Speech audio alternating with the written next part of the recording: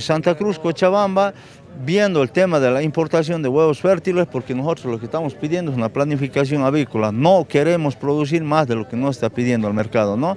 Entonces son lugares estratégicos Santa Cruz, Cochabamba y la parte de La Paz donde nosotros vamos a hacer un bloqueo, eh, un bloqueo selectivo de, de caminos. ¿Quiénes son los importadores?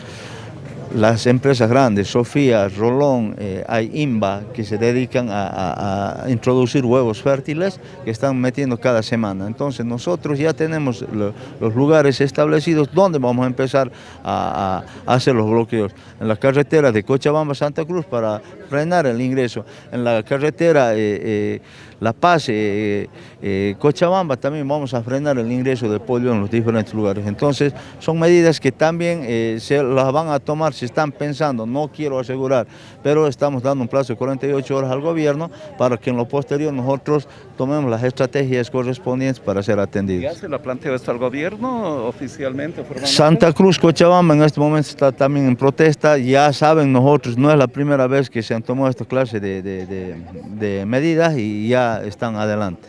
En Tarija estamos perdiendo alrededor de 4 bolivianos por kilo de carne que entregamos al mercado. Y esto es una situación eh, complicada ahora. El próximo semestre se nos viene una situación más difícil. El próximo semestre hay incremento en el tema de nuestros insumos básicos, como es el maíz. Las cosechas en el país han sido afectadas por las sequías, han sido afectadas de todas maneras. El tema de la soya, hay un incremento eh, fuerte en, en el grano de soya internacional.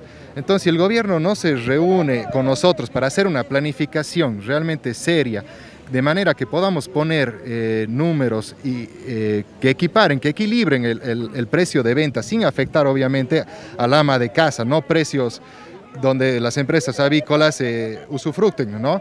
Pero por lo menos que no, pierdan, que no pierdan dinero y sigan trabajando en el país.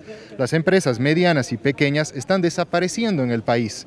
Ya desde la época de la pandemia han ido cerrando poco a poco las empresas medianas y pequeñas. Estamos perdiendo la pluralidad de producción del país están quedando en pie solo las empresas grandes y dentro de poco, se va a convertir todo esto en un oligopolio. El precio del maíz va a estar muy alto, veamos, ah, de abrir la importación, el precio de la soya, ¿qué hacemos? La producción, los volúmenes de producción, ¿qué hacemos? Encontremos un equilibrio. Ahorita el negocio avícola está en un desequilibrio total.